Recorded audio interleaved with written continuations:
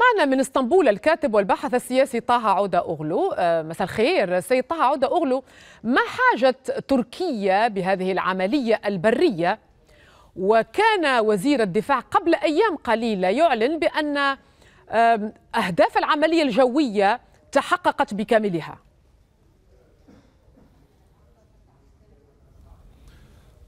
تحياتي لك في البدايه أستاذة فضيلة وللساده أه، المشاهدين. يعني تعلمين دائما العمليات الجوية أه، تتبعها عمليات هناك برية. وخاصة كما تعلمين أيضا بأن رئيس تركيا رجب طيب أردوغان منذ أشهر يهدد بإطلاق عملية برية واسعة في الشمال السوري. التفجير الأخير الذي وقع في مدينة إسطنبول الأسبوع قبل الماضي هو كان الفرصة المناسبة إن صح التعبير بالنسبة للجانب التركي للقيام بهذه هذه آه، العملية. وخاصة آه، كما ذكرت قبل قليل الوزير أكار تحدث بأن العمليات الجوية آه، حققت أهدافها. ولكن وضع هناك بيان أو استراتيجية للخطوات التركية القادمة وهي فيما يتعلق بتأمين الحدود فيما يتعلق بعدم دخول إرهابيين إلى الأراضي التركية وأيضا فيما يتعلق بالمنطقة الآمنة. لاحظنا بعد الهجمات أو الغارات الجوية هناك سقوط قذائف وصواريخ على الجانب التركي خلال اليومين الماضيين. لذا لاحظنا التصريحات التركية جاءت من رأس الهرم وأقصد هنا من الرئيس رجب طيب أردوغان الذي تحدث قبل قليل عن أهداف هذه العملية وحدد بعض المناطق وهي عين العرب لماذا عين العرب؟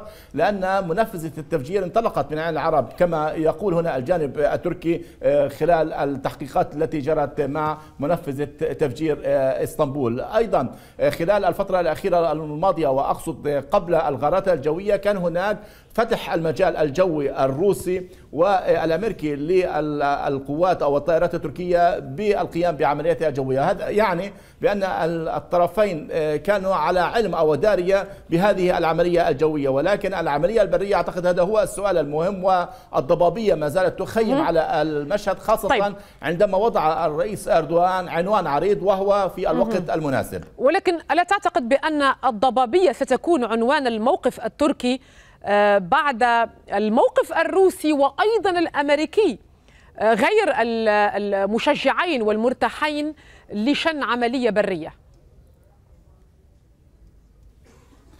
يعني أنا بتصور أعتقد حاليا الأوراق التي تملكها أنقرة حاليا هي أفضل مما كانت عليه قبل آه، أشهر، نتحدث عن انشغال روسي بالحرب الروسية الأوكرانية، هناك تخبط أمريكي بالملف الروسي وأيضا في الغياب نوعا ما على الساحة آه، السورية، لكن إلى حتى هذه اللحظة آه، أنقرة تحاول تحقيق لا يعني أهداف. سيد يعني عودة لا نتحدث سيد عودة قواعد الاشتباك. لا نتحدث عن مجرد رأي. هناك موقف نعم. صدر من المفاوض الروسي ألكسندر لافرانتييف الذي آه، طلب من تركيا الامتناع عن أي عملية آه، أو هجوم بري عسكري في هذا التوقيت على سوريا بالتحديد.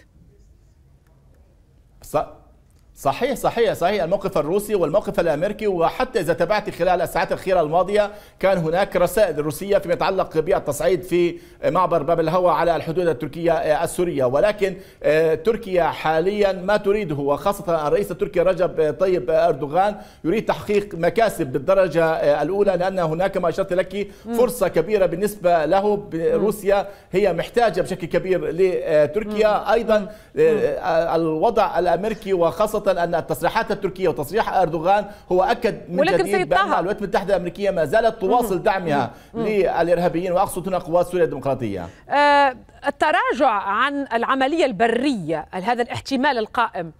آه هل آه يخسر برأيك من ورائه برأيك عفوا من ورائه أردوغان؟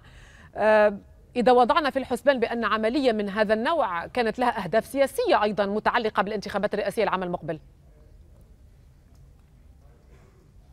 يعني أنا بتصور أعتقد ما يريده الرئيس التركي رجب طيب أردوغان حاليا هو التركيز على الوضع الداخلي.